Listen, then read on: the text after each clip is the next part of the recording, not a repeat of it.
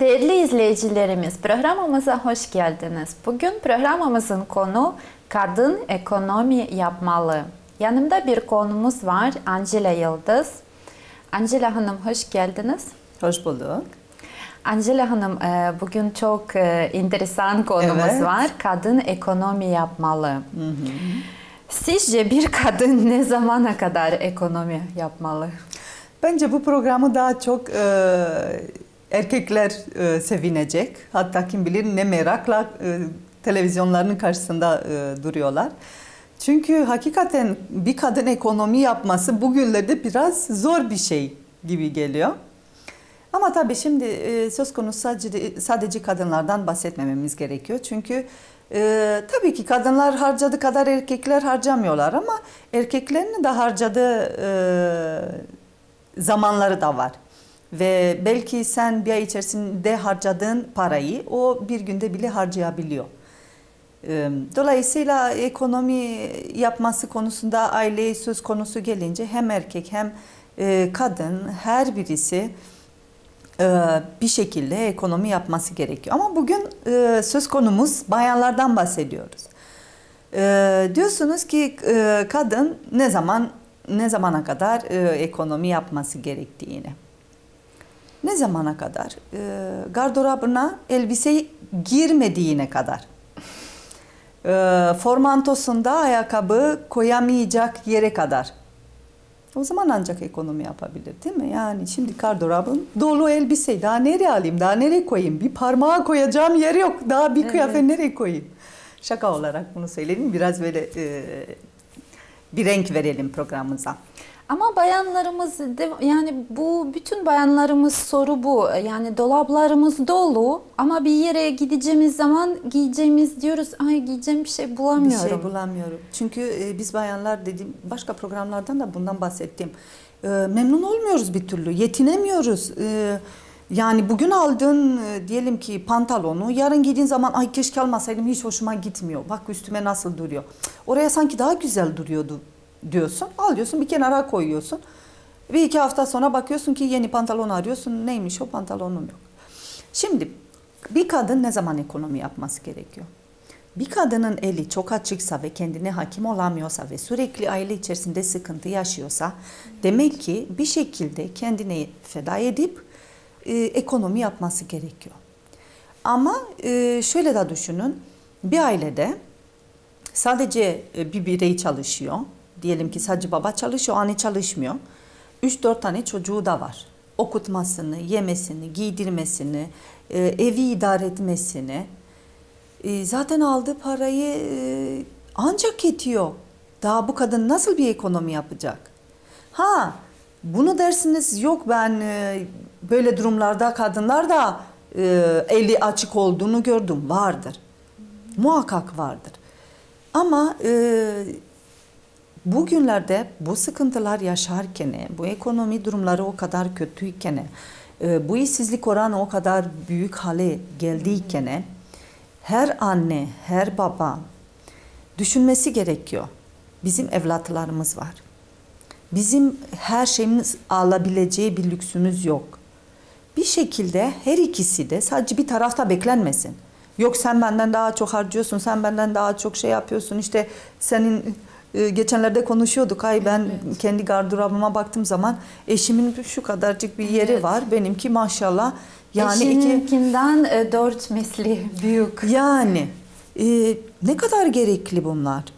Bir düşünün. Birisi bir konuşmacı şöyle derdi. Eğer benim gardırobumu kat- kapatabileceği kadar e, şeyi yoksa yani kapatamıyorsam neden? Dışarıdaki birisi çıplak gezdiği için ben kapatamıyorum.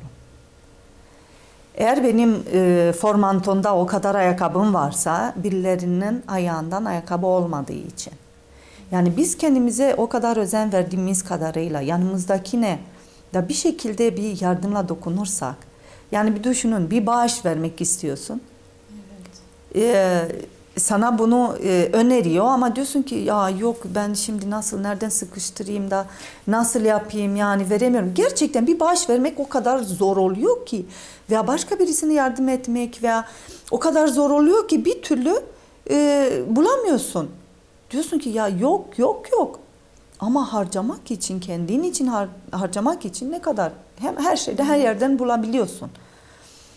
Yani e, kadın ne zaman ekonomi yapmalı? Eğer e, eli çok açıksa ve gerçekten ailede artık huzursuzluk varsa demek ki e, kendisine ailenin mutluluğu için eğer düşünüyorsa kendisine biraz fedakarlık yapıp da ekonomi yapmaya bilmeli bence.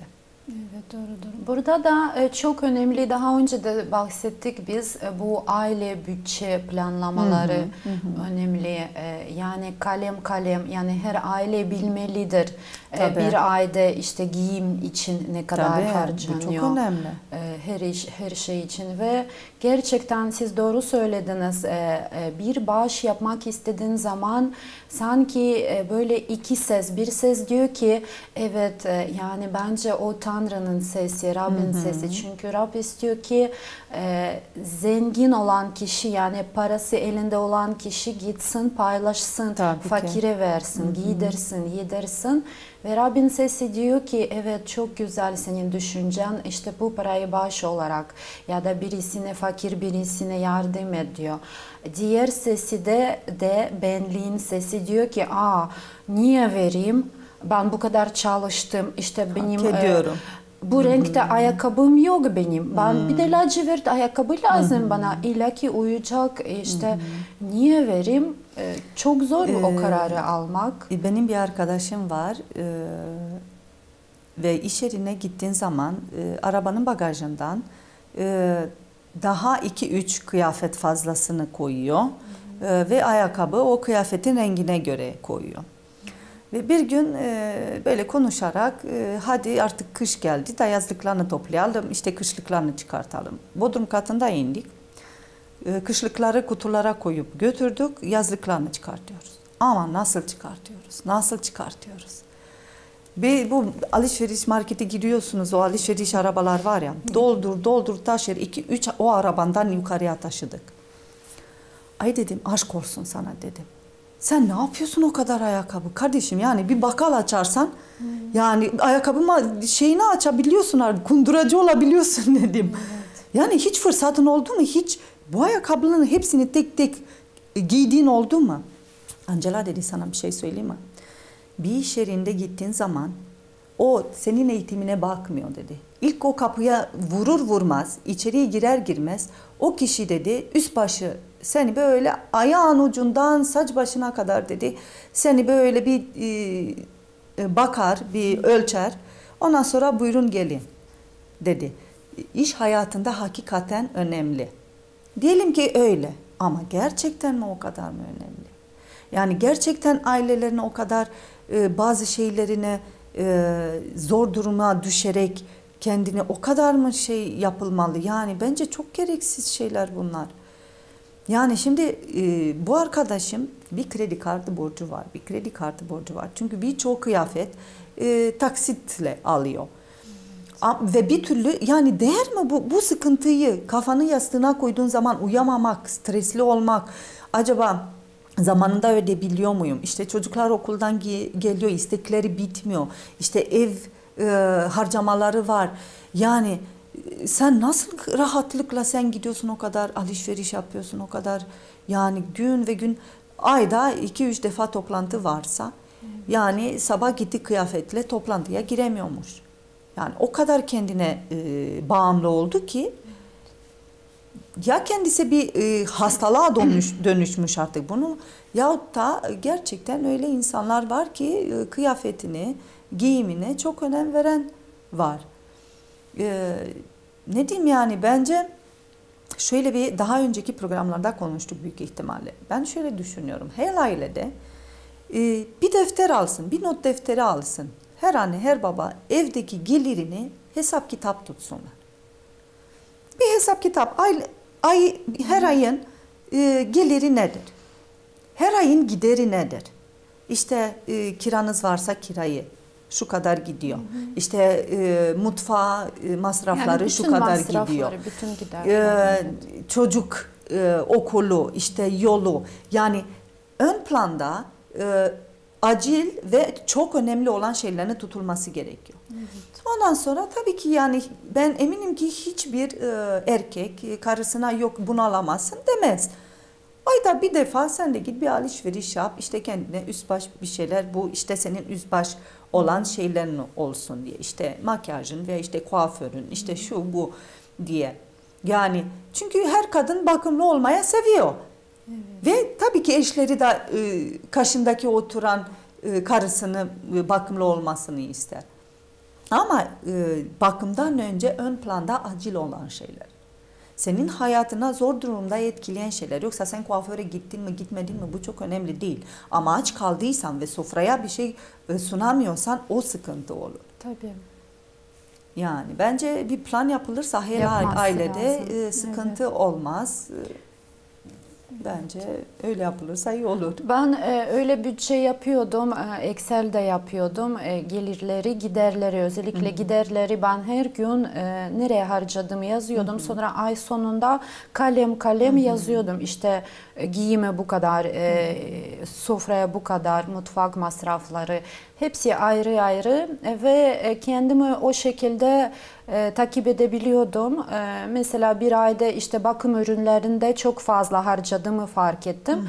İkinci, üçüncü ayda kıstım yani kestim Evet, orada evet. ürün mesela makyaj malzemeleri almadım dengeledim ya da baktım ki ekstra masraf mutfağa girdi ya da başka yerde ekstra masraf çıktı dedim ki tamam o zaman işte yakın iki ayda e, giyimde e, bir harcama yapmayacağız ailecek olarak yani o şekilde dengeleyebiliyorsun gerçekten. Tabii, tabii. Evet, e, bir kutsal ayetimizi de okumak istiyorum. E, 1. Timoteus 6. bölüm 8. e, ayetten başlayacağım. Yiyeceğimiz, giyeceğimiz varsa bunlarla yetiniriz. Zengin olmak isteyenler ayartılıp tuzağa düşerler. İnsanı çöküşe ve yıkıma götüren birçok saçma ve zararlı arzulara kapılırlar.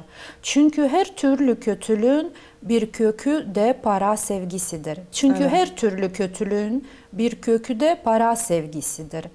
Ee, Yani burada e, kötülüğün kökü para demiyor ama para sevgisi diyor. Evet. Evet. Çünkü aslında paranın e, değerini bilirsek eğer m, gerçekten e, bağış yapabiliriz, başka insanlara yardım edebiliriz. Yani paralar doğru yerde ve e, doğru zamanda harcandığında değeri yüksektir. E, tabii ki. Bir düşünün 3-5 kurunuz, e, kuruşunuz var ve diyorsunuz ki şu şu şu oraya gidiyor ama bu kaldı. Bunu da bağış verirsem hiç fena olmaz dersin. Ne kadar mutlu oluyorsun. Ve inanın ki e, yüreğinden bunu yaparsınız, verirsiniz. Rab sizi o kadar güzel bereketliyor ki. Evet, bin Yani kat hiç- daha bereketleyecek. Doğru. Evet. Teşekkür ederiz Angela Hanım. Ee, Değerli izleyicilerimiz, programımızı kaldığımız yerden devam edeceğiz.